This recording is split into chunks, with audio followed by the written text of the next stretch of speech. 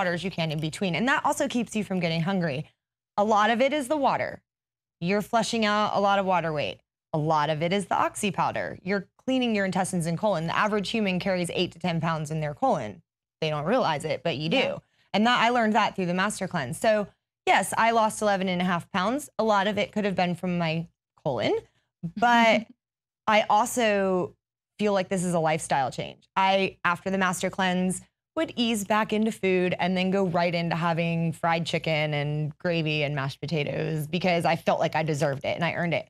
I don't want any of that after this cleanse. After seeing what came out of me, I want to do this cleanse again and I want to say you're vegetarian and I've known that about you forever and I have always wanted to be vegetarian.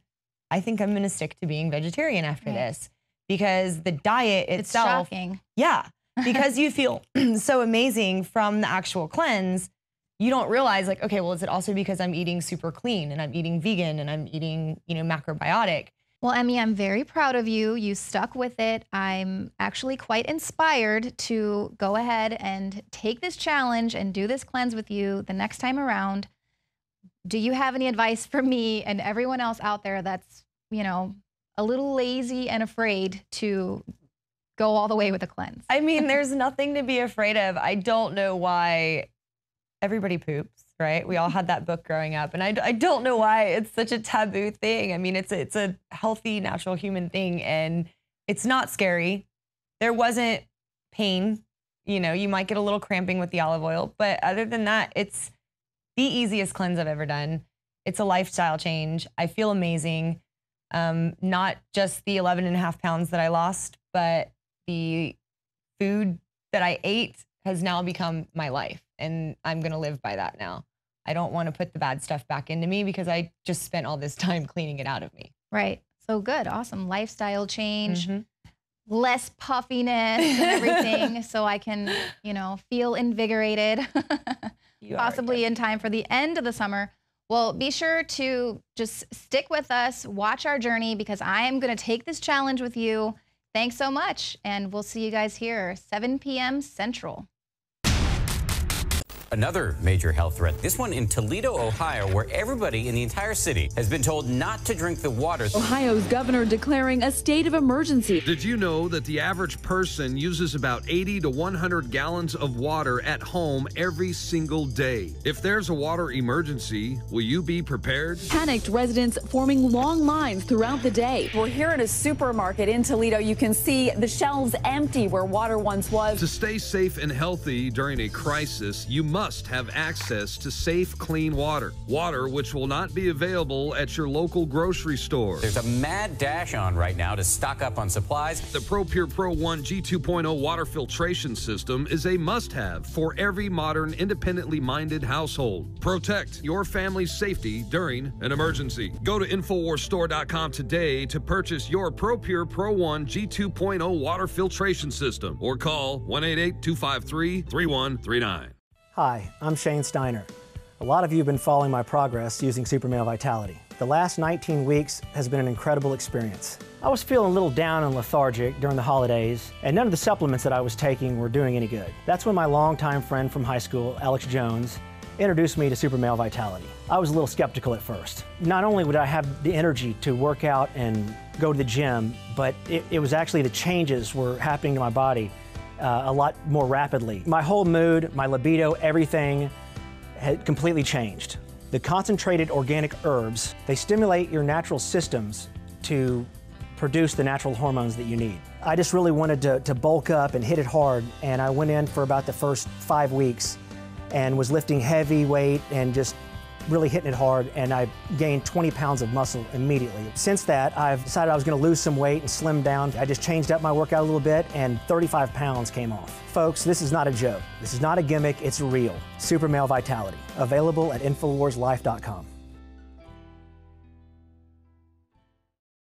Introducing Secret 12, the new InfoWars Life vitamin B12 formulation. Most forms of vitamin B12 are highly processed and synthetic and cannot be properly absorbed by the body. That's why, for real results, so many are having to turn to painful B12 injections, which are known to have higher absorption rates. Now, InfoWarsLife.com is excited to announce that we can bring you our most bioactive, powerful form of B12 that has been developed with our exclusive perfected process. Secret 12 is a binary of nutramedical grade, bioavailable coenzyme forms of B12, methylcobalamin, the same kind used in B12 injections, and adenosylcobalamin. Secret 12 is simply taken by mouth, right on the tongue, and then swallowed. No needles, no injections. Don't take my word for it. Try it for yourself. Discover the secret. Secret 12. Secure your revolutionary Secret 12 formula right now at InfoWarsLife.com or call 888 253 3139. Our world is becoming more and more toxic each and every day. But it's not just the air outside that's toxic. Indoor air has been shown to have two to five times higher concentrations of pollutants than even outdoor air. And most Americans spend 90% of their time inside using toxic chemicals within their homes. There are more than 42 million smokers in the United States. Well over a thousand types of mold and mildew linked to numerous conditions. And don't forget the fact that 6 million Americans live with pets they're allergic to as well. When I began to research these statistics, it was clear to me it was time to start cleansing my lungs in order to combat the toxic environment that we cannot escape, but that we can fight back against. Made with organic and wild cultivated herbs and manufactured in the USA, the new InfoWars Life Lung Cleanse is here in a convenient spray bottle that can be brought with you throughout any toxic environment. Now available exclusively at InfoWarsLife.com.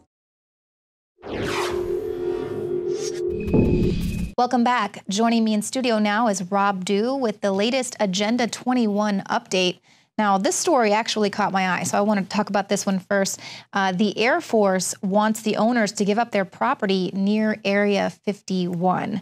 Now, this is uh, the U.S. Air Force is giving some homeowners an ultimatum that they're saying take a $5.2 million, their last best offer for their property by Thursday, or the government is just going to seize it through condemnation because obviously they're setting off so many bombs in the area. The secrets are getting too big. exactly. They need more area to uh, hold the secrets, I guess. Well, the people don't want to give up their land because it's been in their great great grandparents' family for forever. They say it was the symbol of their blood, sweat, and tears.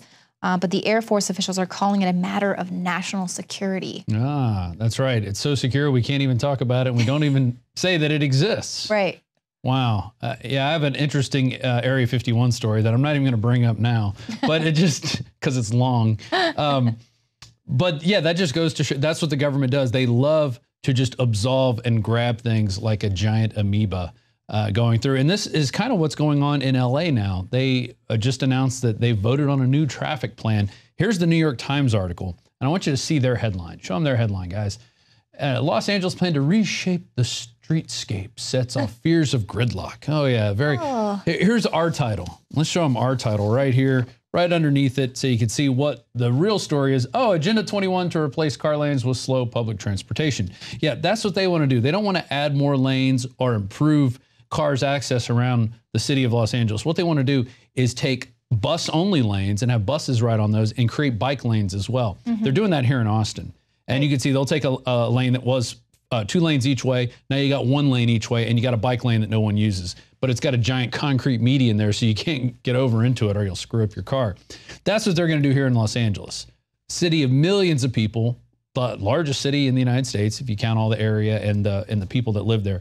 And they want to create more traffic jams, right? Because what they have just isn't enough. Yeah, well, and it's, I mean, by the time this plan rolls out, you're going to have decades of really bad gridlock because it's, you're not going to force these people to stop taking, driving right. their vehicles. This is just, that's their culture. LA and, you know, getting down to Southern California, you need a car. But the whole, this plan, it illustrates what the, is control. Well, yeah, okay. doesn't he even say, you know, we need to make these little condensed neighborhoods where people mm-hmm. can just stay within their neighborhood? Well, here's part of the story, too. In the Seattle bubble, Seattle preparing to say goodbye to single family zoning. So they're not going to let you zone for single family households. They say they take up too much room, use up too much resources. So everything's got to be a duplex, a fourplex, or an apartment. Okay, so that's money for bigger businesses and developers. How do people save their money? A lot of people save their money by buying a house and right. saying, hey, this is mine. This is something I could build off of. It retains its value. It may go up in value. Not anymore. You're going to be yeah. you're going to be stuck with renting. Uh, here it is again. Wow. Uh, getting rid of single family zoning. These conversations shouldn't be secret, but of course, the planning of this, this Agenda 21 planning, is always done in secret. And then they roll out the plan and say, hey, this is what you guys voted for. And when you voted me in, I guess you didn't know I was going to vote for uh, Agenda 21. That's that American dream right there. Exactly. Here's the San Jose Mercury News plan to require fireplace retrofits at homes for sale heats up in smoke debate. So basically, any new house, or if you want to put your house on the market, you have to get rid of your fireplace. And that's in California because they don't want you putting smoke up in the air, especially in Northern California, which uh, frankly is about 12% of the population that uses fireplaces as their main heating source. Here it is out of the Oregonian. Uh, air regulators ban visible chimney smoke from wood stoves in Eugene area. They're actually going around finding people wow. $500 at a time for if they see smoke coming out of your chimney in the wintertime. They just don't want it. And this this is all the different ways they control us, all the different ways. Here's House bans, House OK's ban on rural dust. They want to go after dust that farmers make when they plow their fields. They're saying that's a pollutant. Wow. Dust. with how arid everything is better. without the rain, my goodness. it gets even better. Rural kids and parents angry about Labor Department rule banning farm chores. What? So they don't want kids to be able to learn work ethic by working on their farm. They're going to ban that because they're saying kids are being exploited. Wow. you know what? Oh if you my. live on a family farm, you got to go feed the chickens. Yeah. You got to milk the cows. We don't need to learn about hard work. No, they don't want to teach them work ethic. They want to be dependent on the government and learning how to get free goodies. This is the same EPA that like pumped carbon monoxide into kids to see. Exactly. Much. And I covered that in a report that I released back in January called The EPA Wants to Kill Your Grandmother.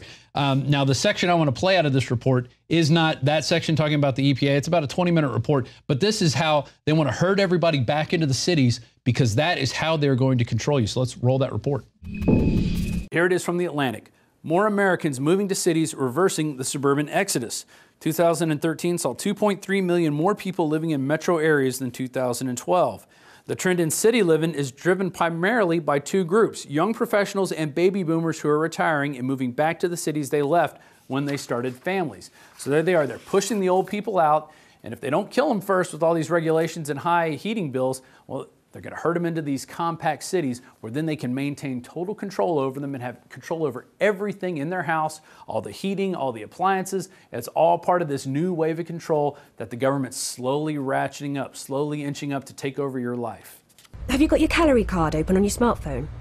I registered your visit with Slick Travel Corp the other day, so they've uh, allotted you a journey time to, to match mine. It makes so much sense, doesn't it? Switch off brain and go to work. With this many people around, I'm glad there's a mega computer in charge. UN backed scientists call for mega city population lockup. This is put out by Planet Under Pressure. It has statements here from some of the scientists. Check this out. We certainly don't want people strolling about the countryside. We want to save the land for nature by living closely together. Insisting the world population be locked up within the compounds of megacities, the elites realize that if the herd is to be properly controlled, walls are needed, thick walls, and by constructing these walls and making the masses go inside of them, it will be easier to control. Chief scientist Michail Fragkias, involved with Planet Under Pressure, told MSNBC the answer to population growth is denser cities. Now let's look at this 2012 Planet Under Pressure press release.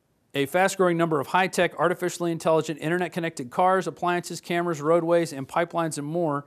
That's what they want to push everybody towards this total control infrastructure. And how will they improve efficiency? Ah, using utility meters and sensors that monitor the capacity of power generation, network, and continually gather data and supply on demand of electricity. Those are your smart meters. Integrated traveler information services and toll road pricing based on traffic, weather, and other data. Those are the black boxes in the cars and the TSA uh, controlling who travels where. Data gathering and feedback from citizens using mobile phones. That's the NSA spying they're doing on you. So all this is under this Planet Under Pressure plan back in 2012. And that was a report I did back in January called The EPA Wants to Kill Your Granny. And you can check that out on our YouTube channel. Or if you're a member of prisonplanet.tv, you can log on and have access to all of our reports, all of Alex's movies. And it's a great way to support us. Prisonplanet.tv, you can get your membership now. You got a 15 day free trial. And uh, you can share your username and password with up to 20 people. So that's right, a great way to get sure the it's word like out. cheaper than a drink at Starbucks. So Exactly. And I, I guess the big thing about all these articles is we're, we're coming up to the big fight, and that is the cor- corporate ownership of our food and water, which Right. Christina Sarich uh, put out in an article that we just had out on InfoWars on the 7th. And I like where uh, she's talking about what's going on in Nestle and in California. Um, Nestle's actions are especially despicable. The company is drawing on an unnumbered amount uh, amount of water, likely millions of gallons from an underground spring, and then selling it back to the public in that bottled Nestle water that you buy.